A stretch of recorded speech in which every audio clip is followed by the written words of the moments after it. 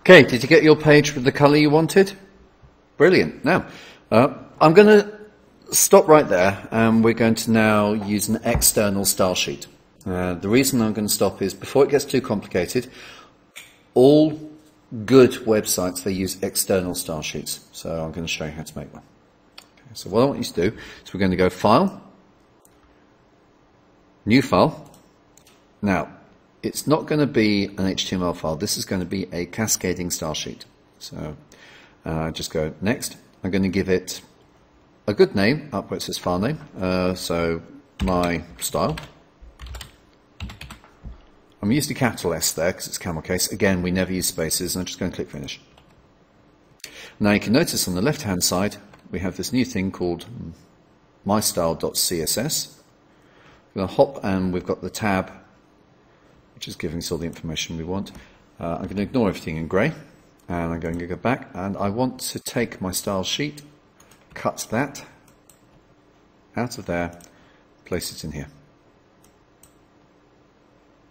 Okay, so now that's my first style. I'm just going to save that. Now that's all well and good, but right now, my index page, it has no clue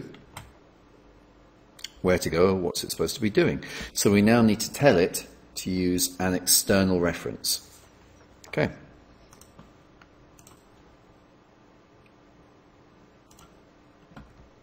Now, while still in the head, and uh, it's quite important to keep it in the head, we're going to open up a chevron.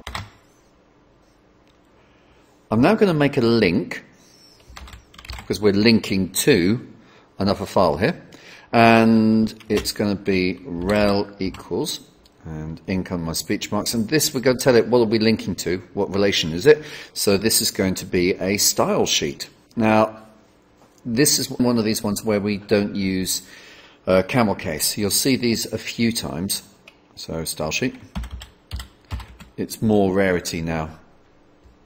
In fact, you can see it there. So I've said I'm going to make a link that's going to be a style sheet. It's now going, okay, uh, where is it? Well, again, I need to use, it's like making a hyperlink here, href equals. And now I simply need to say what it's called. Don't forget the .css. So I wrote that one as my style.css. So I go my style, and it is case sensitive .css. Uh, that should have done it. Now I just need to simply close my chevron. And now, when we run this, it will know that the style sheet is an external style sheet and that the rules of that style sheet are going to be body, background color, pink. So I save everything. I'm just going to run that. And if we test that, you can see again, it's still, it's pink. So I know it's worked. So that's what I'd like you to do now. Away you go.